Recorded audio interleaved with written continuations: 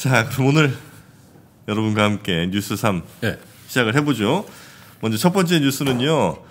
아, 이 주식 단일 종목 아마 저 10억 맞죠? 10억 이상 예. 있으면 대주주 요건이 돼갖고 뭐 양도세 같은 거 굉장히 많이 아마 맞는 예. 것 같은데 음. 그거 이제 내년 초부터 아마 강화를 하잖아요. 그래서 3억으로 3억. 3억으로 낮추는 네. 거지 기준을. 네. 근데 그거를 지금 현재 상황에서 낮추는 게 맞나? 음.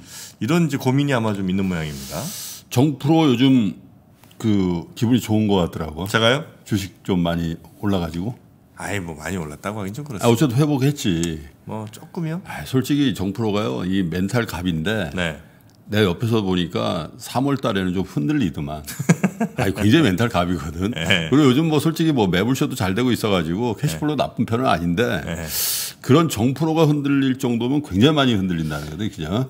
근데 지금 이제 네. 한 두어 달 반 이렇게 지난 다음에 지나놓고 보니까 물론 이제 더산 분들도 있고 안판 분들도 이런 분들은 네. 지금 다 원상복귀 했을 거예요 대부분 예, 지수 때도 그러니까 근데 이제 문제는 지금부터인데 어제도 이 일부 공매도에 대한 얘기를 했습니다마는 네. 사실 공매도 금지 3개월 동안에 그 효과는 분명히 있었어요 이 특히 개별 종목 쪽에 이 네. 공매도 비중이 많았던 코스닥 종목 코스닥이 코스닥만 어떻게 70몇 프로 오르게, 오르겠어요 음. 그죠? 그렇죠. 예, 물론 좀 많이 빠진 것도 있지만 그런 이제 효과가 있을 텐데 이 수급에 또한 가지 이제 걸림돌이 되는 게 과세 부분인데 음. 지금은 사실 우리 대부분의 개인 투자자 여러분들은 주식 거래 양도 차익에 대해서 세금을 안 냅니다. 음. 예, 그 대신 거래세를 내시죠. 네네. 그런데 에, 이제 이 투자자의 관점이 아니라 어떻게 보면 대주주 그러니까 그 회사의 어떤 주요 주주의 관점에서 보면 이것은 에, 어떻게 보면 이 trading이라든지 투자 사고 파는 게 아니라 어떤 자신의 자산으로 인식을 하는 거거든요. 근데 가만히 생각해 보면 제가 항상 어, 김영 TV에서도 그런 얘기 했거든요. 주식 투자 왜 해야 됩니까? 그래서 아, 이거 동업하는 거라고. 이 그렇잖아요. 내가 만약에 그 한 20년 전에 삼성에서 그 휴대폰 사업 시작했을 때, 야 저거 대박 나겠는데 그때 내가 동업자로서 그 이건희 부회 이건희 회장한테 동업합시다 그러면 이건희 회장이 나를 거부할 수가 없다니까요. 거부할 수가 없다고. 아니 삼성전자 주식 사면 동업이니까 아, 네네. 이건희 회장 나 너랑 동업하기 싫어 그래도 내가 동업하고 싶으면 내 마음대로 하는 거야. 네네. 그것도 삼성전자에도 동업할 수도 있고 하물며 네. 지금 아마존 가서 제프 베조스한테 동업합시다 그래 아 I don't know 뭐 이렇게 할 수가 있잖아요. 근데 나는 동업할 수 있다는 거지. 네네네. 근데 내가 정프로가 하는 뭐뭐 사업이 있어 그러면 내가 동업하자 그러면 아 형이랑 안 해. 이렇게 할 수가 있잖아요. 네. 그런 그런 의미에서 보면 주식 투자는 모두 다 어떻게 보면 지분이란 말이에요. 음. 그죠? 만약에 오늘 사서 내일 파는 것도 사실 단기적으로 지분이지만 사실 우리가 뭐라 그래요? 주식 투자 장기적으로 해야 되고 이게 지분이고 동업입니다라고 네. 얘기를 하고 있는데 이제 내년부터는 그러면 이제 그런 사람들도 3억 이상 투자하면 네. 지분으로서의 대주주에 해당됩니다. 이렇게 해서 이제 양도 차익에 대해서 양도 소득세를 내시라는 거거든요. 네. 근데 한번 생각해 볼 나름이 있어요. 지금까지 그러면 우리나라 증권시장에서 왜 이 양도 차익에 대해서 과세를 안 했나? 거래세, 거래에 드는 세금만 냈나? 근데 미국 같은 건 거래세 없잖아요.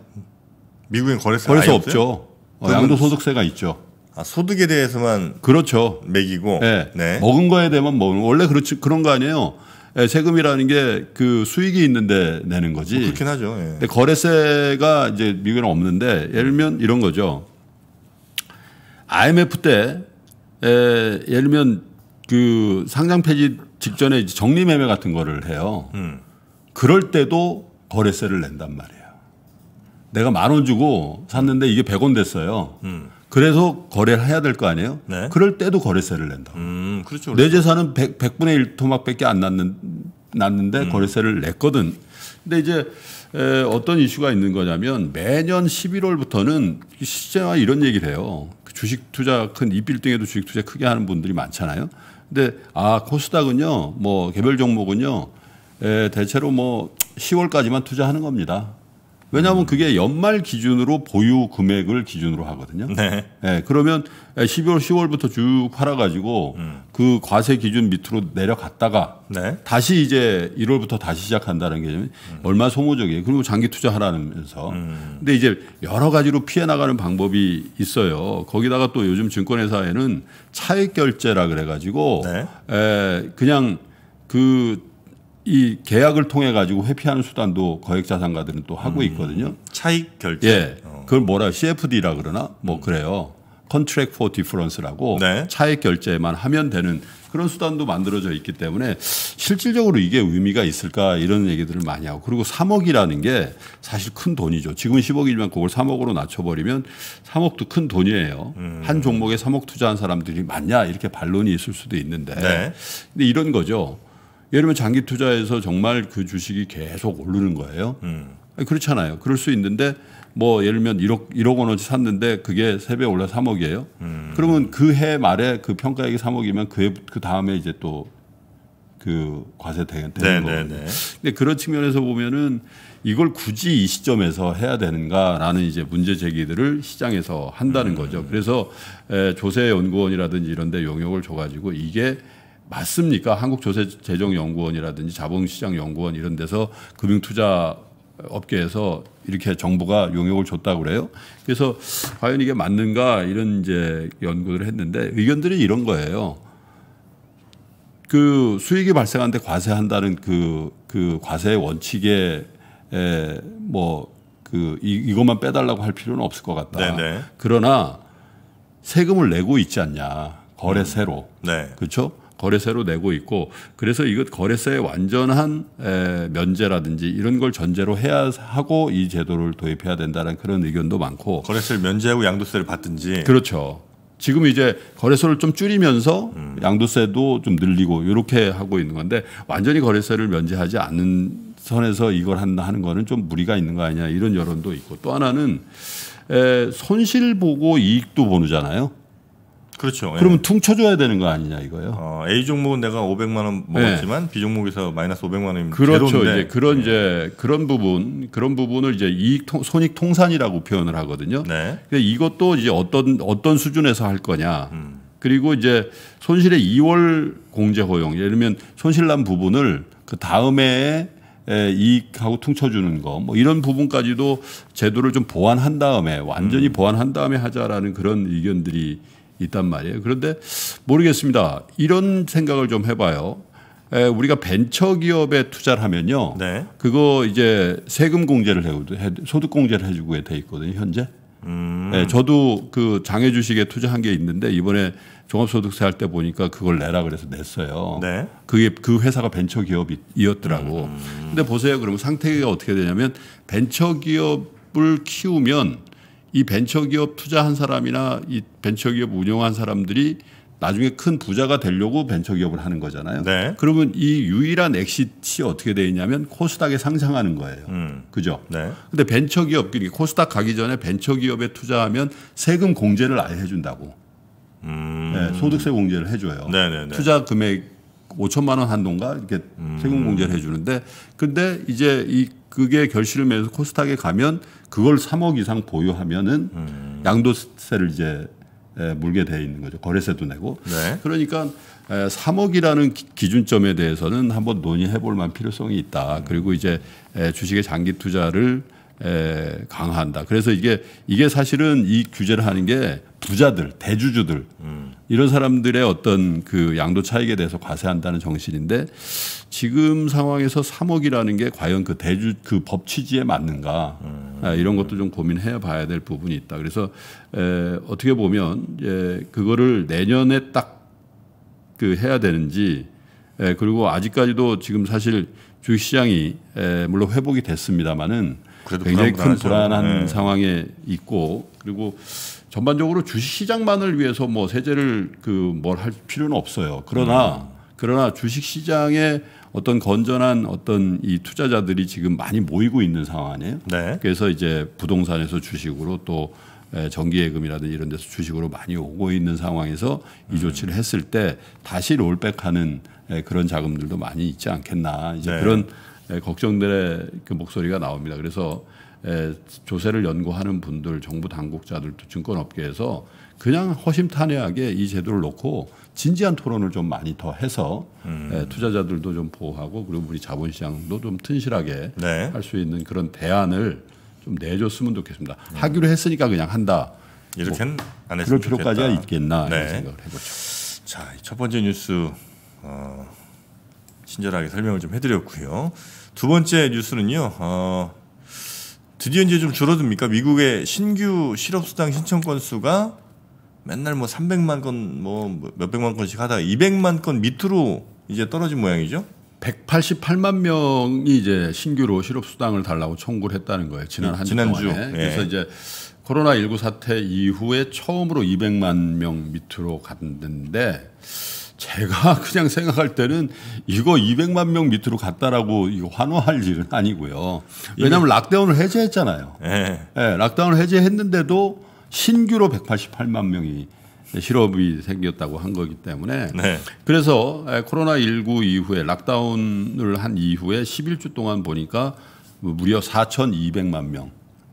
예, 이제 좀 있으면 우리나라 인구만큼 실업자가 생기는 거예요. 네. 그래서 에, 이렇게 돼 있다라는 거고요. 그래서 이게 원래는 제가 누차 말씀드립니다만은 그냥 한 주에 미국 전역에서 한 20만 명 정도가 나 실업자 됐어요라고 청구하는 거예요. 근데 한 108 주에 한 20만? 주에 통상적인 평상시에 이 네네네네. 코로나 19 이전에 보면은 대충 21만에서 22만 뭐 예, 어쩔 때는 18만 뭐 이렇게 네네네. 나오던 건데 이게 180만이니까 사실 많이 줄었다고 하는데 10배 정도가 된 음. 거죠. 그래서 어제도 미국 시장이 좀 그 다우지수는 조금 오르고 나머지는 조정을 받았습니다만은 이런 것들이 아 이게 그 락다운을 해제한다고 해서 갑자기 뭐 실업자 수가 준다든지 그렇지 않는구나. 네. 이제 이런 이제 분석들이 나와서 조정의 빌미가 됐는데 어쨌든 에, 미국의 이 실업자의 수는 조금 조금씩 더 줄 겁니다. 그런데 이게 완연하게 회복세로 이제 바닥을 형성하는 시점까지는 이 추세대로 하면은 적어도 3분기 동안에는 평상시로의 회복 같은 것들은 상상하기 좀 어려운 거 아닌가 이런 생각들이 이제 많이 되는 거죠. 그래서 이게 과연 100만 명 밑으로 언제까지 갈 거냐 네. 이런 게 사실 미국의 고용을 보는 에, 굉장히 중요한 포인트인 것 같은데 어제는 어쨌든 200만 명밑 그러나 188만 명도 상당히 우려스러운 숫자가 나왔다라고 월가는 받아들이고 네. 있는 것 같습니다. 그리고 세 번째 뉴스는요. 아, 이 며칠 전에 아주 크게 나왔던 그 카타르가 뭐 LNG 섬 100척, 103척 뭐 이렇게 계약을 네. 했다. 그런데 카타르가 진짜 원하는 거는 어, 배보다도 도크 아니냐 이런 예. 기사가 있습니다. 그러니까 이제 백척을 한꺼번에 이게 사실은 바로 그 건조에 들어가는 건 아니에요. 네. 건조에 들어갈 수도 없죠. 백척을 어떻게 한꺼번에 들어가겠어요. 그렇죠. 왜냐하면 예. 그거는 왜 그러냐면 도크가 없다는 거잖아요. 그러니까 순차적으로. 있으니까. 그래서 이제 슬롯 계약이라 그러니까 내가 기간 중에 어쨌든 백척 너한테 오더 할 테니까 아, 그건 내가 개런티에 써준다. 음. 근데 언제 까지인지 이게 시기 조절은 좀 한다. 네. 뭐 이렇게 돼 있는 걸 이제 슬롯 계약이라고 하는데 그 슬롯 계약을 그럼 카타르는 왜 했는가라고 이제 분석을 한 거예요. 음. 아 이제 LNG 에, 시장에 보니까 1위가 호주고 네. 2위가 이제 카타르인데 1위가 호주예요? 예. 근데 원래 카타르가 1등이었다는 거예요. 근데 네네. 이제 호주가 워낙 이제 생산량을 늘리다 보니까 역전이 됐는데 이 상황에서 LNG 수요는 굉장히 많이 늡니다. 이 경기와 관련 없이. 예를 들면 중국 같은 경우도 엘- 전체 전체 이제 에너지의 소비는 뭐 3% 이렇게 느는데 음. LNG는 10% 이상 늘어나는 거죠. 왜 그러겠어요?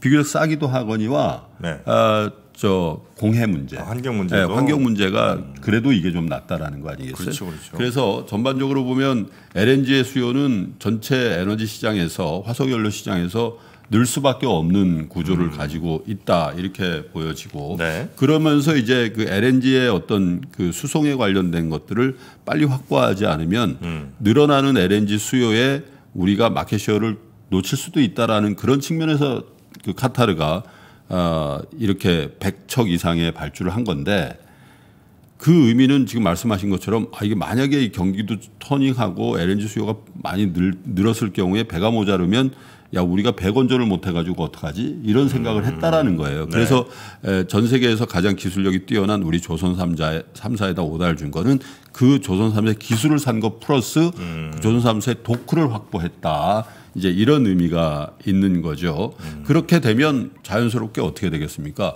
어, 에, 카트르가 저렇게 나와? 우리도 모잠비크 우리도 우리도 뭐 해야 되는데 음. 러시아도 뭐뭐 해야 되는데 또 호주도 더 해야 되는 거 아니야? 이렇게 됐을 경우에 제2, 제3의 에, 카타르가 나올 가능성이 있다. 왜냐하면 그게 독후 선점이라면 우리도 경쟁에 뛰어들어야 되는 거 아니냐? 네. 기존 다른 선주사들의 어떤 에, 그 저 발주를 음. 에, 촉진하는 그런 에, 효과가 있을 것이다. 이렇게 분석들을 하는 겁니다. 그리고 어제도 보니까 근데 만약에 지금 도쿄 이렇게 다 차지해 버리면 이제 더 이상 우리는 못 못 만드는 거죠? 아니 근데 이제 그게 이제 장기간이니까 네네. 장기간이니까 추가적으로 뭐 100척, 200척 이렇게 수, 뭐 기간을 두고 수준을 할 수 없겠지만 음. 그 외의 수준이라는 건 뭐 10척, 20척 이런 식으로 나올 테니까 삼사가 나눠서 이제 할 수 있는 에, 그런 여유는 있을 거예요. 왜냐하면 워낙 이 발주도 사실 단기간에 뭐 100척을 만들라는 게 아니니까요. 네. 근데 이제 그 오늘 저녁에도 우리가 어, 하이투자증권 최강식 그 조선 애널리스트를 이제 모셔서 에, 인터뷰를 하게 되어 있습니다만은 지금도 보면 next 카타르라는 게 모잠비크, 나이지리아, 뭐 러시아 이런 것들이 이제 이런 나라들이 기다리고 있거든요. 예를 들면 이제 에, 모잠비크의 토탈 모잠비크 area에서는 한국의 현대중공업, 삼성중공업 최소 8척 이상의 LOI 그러니까 계약 의향서죠. 에, 너희한테 줄 의향이 있다 이런 걸 에, 낸 적이 있고 또 러시아 악틱이라고 저 북해 쪽에 에, 그 프로젝트에도 삼성중공업의 에, 다수 축을 발주한 바가 있거든요. 그래서 네. 이런 그 조선 쪽에 말씀드린 것처럼 독크를 선점하기 위한 카타르의 선제적인 에, 그 발주가 있었다면 나머지 모잠비크, 나이지리아, 러시아 이런 쪽에서도 좀 서두를 가능성이 있다라고 분석이 나오는 거죠. 네. 네, 그래서 어제도 보니까 뭐 청와대와 뭐 거제시장 이런 분들도 보니까 아 세일즈 외교라든지 뭐 이런 얘기를 하셨던데 에, 이거 뭐 기술력이 워낙 우리가 뛰어난 부분이 강하고요. 정말로 에, 앞으로는 에, 어떤 이제 그 우리 정부나 또 에, 지자체 단체장 이런 분들도 기업들 많이 좀 support 좀 해주, 해주라는 거예요. 그리고 네, 네. 세일즈 외교라는 얘기가 그냥 추상적인 얘기가 아니에요. 진짜 뭔가 연결시켜서 기업들을 이 해외 수주하는데 정말 경제 어려우니까 에, 그런 것들도 더 아, 열심히 좀 해줬으면 좋겠네요. 네.